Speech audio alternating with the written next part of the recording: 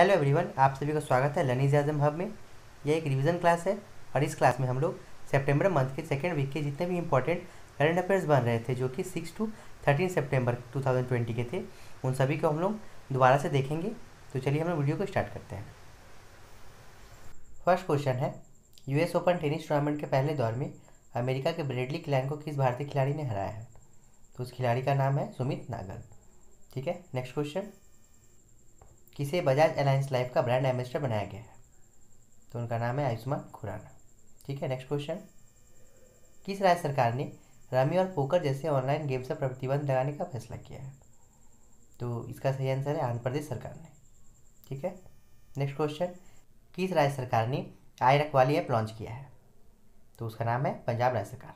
ठीक है next question किस राज्य सरकार ने स्वयं योजना को फिर से लॉन्च किया है? तो इस योजना को फिर से लॉन्च किया है असम राज्य सरकार ने। नेक्स्ट क्वेश्चन हाल ही में किस कंपनी को आईपीएल के तीन सत्रों के लिए आधिकारिक पार्टनर के रूप में चुना गया है? उसका नाम है अन अकेडमी नेक्स्ट क्वेश्चन हाल ही में डॉक्टर नीना मल्होत्रा को किस देश में भारत का राजदूत नियुक्त किया गया है? तो इटली देश में इन्हें भारत का राजदूत नियुक्त किया गया। ठीक है next question ease of doing business ranking में भारत का कौन सा राज्य शीर्ष पर रहा है? तो इस राज्य का नाम है आंध्र प्रदेश। ठीक है next question S I M का अध्यक्ष किसे नियुक्त किया गया है?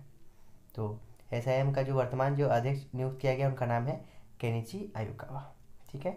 Next question telephone company Vodafone Idea को रीब्रांड कर क्या नाम नया दिया गया है? तो इसे मिलाकर वी आई यानी कि वी फॉर वोडाफोन और I for Idea V I बना दिया गया ठीक है? चलिए और कुछ क्वेश्चंस को देखते हैं अब। अंतर्राष्ट्रीय साक्षरता दिवस हर साल किस दिन मनाया जाता है? यह मनाया जाता है हर साल आठ सितंबर को।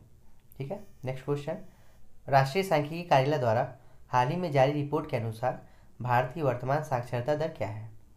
तो अभी जो रिपोर्ट निकाली गई है, उसके अनुसार भारत की जो वर्तमान साक्षरता दर है, वह है सतहत्तर दशमलव सेवन परसेंट, यानी कि seventy seven point seven percent. ठीक है? चलिए नेक्स्ट क्वेश्चन जम्मू कश्मीर के उपराज्यपाल ने हाल ही में जम्मू कश्मीर प्रशासनिक सेवा के अधिकारियों हेतु स्पैरो सिस्टम लॉन्च किया है।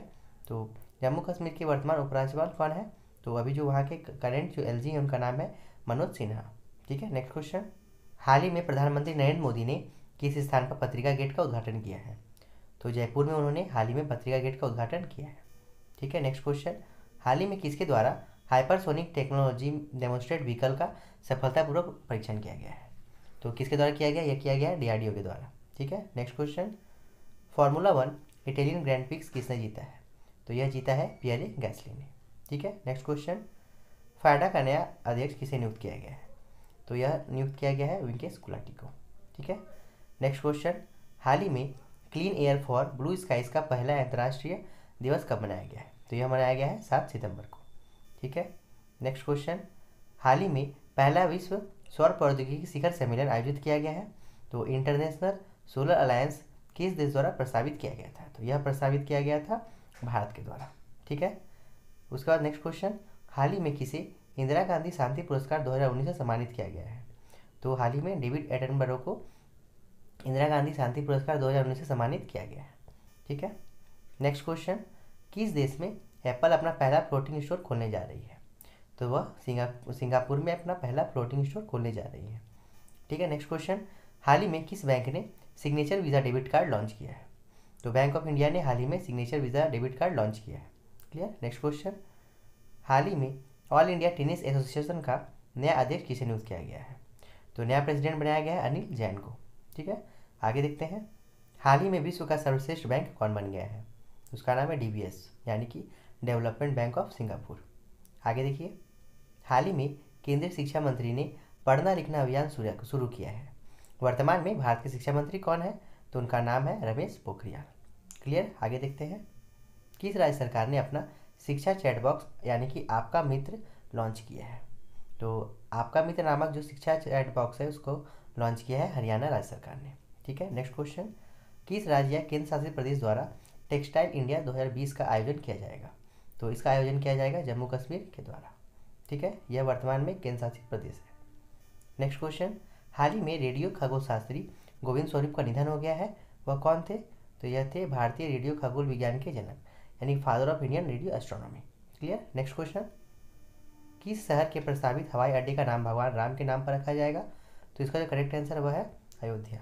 ठीक है? नेक्स्ट क्वेश्चन राष्ट्रीय नाट्य विद्यालय के नए प्रमुख के रूप में किसे नियुक्त किया गया है? तो उसका नाम है परेश रावल। इनको हाल ही में new chief of national school of drama बनाया गया है। ठीक है? नेक्स्ट क्वेश्चन हाल ही में किस आईआईटी के कैंपस में केंद्रीय विद्यालय स्थापित किया जाएगा? तो यह स्थापित किया जाएगा आईआईटी इंदौर में।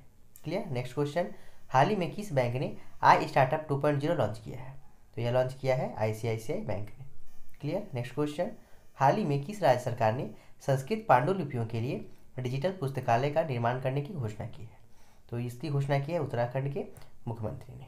ठीक है? नेक्स्ट क्वेश्चन किस राज्य के मुख्यमंत्री ने हाल ही में दक्षिण भारत की पहली किसान रेल का शुभारंभ किया है? तो इसका जो शुभारंभ किया है, वह किया है आंध्र प्रदेश के मुख्यमंत्री ने। ठीक है? नेक्स्ट क्वेश्चन हाल ही में वर्ल्ड सुसाइड प्रिवेंशन डे कब मनाया गया है? यह मनाया गया दस सितंबर को। नेक्स्ट क्वेश्चन हाल ही में player sport sports gaming platform का ब्रांड एम्बेसडर कौन बनाया गया है? तो इन्हें बनाया गया है भुवनेश्वर कुमार और स्मृति मंधाना को। क्लियर नेक्स्ट क्वेश्चन हाल ही में कौन सा bank ease two point zero banking सुधा सूचकांक में शीर्ष स्थान पर रहा है? तो उसका नाम है bank of Baroda clear next question किस बैंक ने जैविक कपास उत्पादकों के लिए ऋण प्रोडक्ट सफल लॉन्च किया है? तो यह लॉन्च किया है एसबीआई यानी कि स्टेट बैंक ऑफ़ इंडिया ने। आगे देखिए, हाल ही में पहली बार हमले से शिक्षा की रक्षा के लिए अंतर्राष्ट्रीय दिवस किस दिन मनाया गया है? तो यह मनाया गया है नौ सितंबर को। ठीक है, आगे देखिए, कर्नाटक के हुबली रेलवे स्टेशन का नाम बदलकर क्या रखा जाएगा? तो इसका नाम जो है बदलकर रखा जाएगा अब श्री सिद्धारोड़ा स्वामी जी ठीक है, क्या नाम रखा जाएगा? श्री सिद्धारोड़ा स्वामी जी किस स्टेशन का नाम बदलकर? हुबली रेलवे स्टेशन, जो कि कर्नाटक में है। क्लियर? आगे देखिए हाल ही में किस राज्य सरकार ने भारत की पहली इंटीग्रेटेड एयर एंबुलेंस सेवा शुरू की है? तो यह सेवा शुरू की है कर्नाटक राज्य सरकार ने। आगे देखिए। नेक्स्ट क्वेश्चन है। उस खिलाड़ी का नाम बताइए, जिसका वुशु विश्व चैंपियनशिप 2019 में रजत पदक को स्वर्ण पदक में अपडेट कर दिया गया है। तो उनका नाम है पूनम खत्री। नेक्स्ट क्वेश्चन हाल ही में प्रधानमंत्री नरेंद्र मोदी ने कौन सी योजना लॉन्च की है? उन्होंने हाल ही में लॉन्च की है प्रधानमंत्री मत्स्य संपदा योजना। नेक्स्ट क्वेश्चन हाल ही में फ्रेजर संस्थान द्वारा आर्थिक स्वतंत्रता सूचकांक 2020 जारी की गई है। कौन सा देश पहले स्थान पर रहा है? तो हांगकांग पहले स्थान पर रहा है, इस सूची में। नेक्स्ट क्वेश्चन किसने आयुष्मान खुराना को बच्चों के अधिकार अभियान के लिए सेलिब्रिटी एडवोकेट के रूप में नियुक्त किया है? तो आयुष्मान खुराना को यूनिसेफ ने बच्चों के अधिकार अभियान के लिए सेलिब्रिटी एडवोकेट के रूप में नियुक्त किया है। ठीक है नेक्स्ट क्वेश्चन हाल ही में मूडीज़ ने वित्त वर्ष 2021 में भारत की जीडीपी कितने प्रतिशत रहने का अनुमान बताया है? तो उन्होंने बताया कि भारत की जीडीपी जो की है, वह minus eleven point five percent रहेगी इस बार। ठीक है? नेक्स्ट क्वेश्चन हाल ही में विश्व प्राथमिक उपचार दिवस कब मनाया गया है? तो यह मनाया गया है बारह सितंबर को। क्लियर आगे। हाल ही में भाजपा महानगर समिति किनके जन्मदिन को सेवा सप्ताह के रूप में मनाएगी? तो यह प्रधानमंत्री नरेंद्र मोदी के जन्मदिवस को मनाएगी, सेवा सप्ताह के रूप में। ठीक है? आगे देखिए। एयरो इंडिया 2021 का तेरहवा संस्करण कहाँ आयोजित किया जाएगा? तो यह आयोजित किया जाएगा कर्नाटक में। क्लियर? आगे देखिए। भारत की दूसरी और दक्षिण भारत की पहली किसान रेल को कहाँ से दिल्ली तक सामग्री पहुँचाने के लिए चलाया गया है? तो यह आंध्र प्रदेश से दिल्ली तक सामग्री पहुँचाने के लिए चलाया गया है। ठीक है? आगे देखिए। किस देश ने फर्जी सूचना और अफवाह से लड़ने के लिए असोल चीनी नामक अभियान की शुरुआत की है? तो यह बांग्लादेश के द्वारा शुरुआत किया गया है इसका। ठीक है? लास्ट क्वेश्चन है आज का।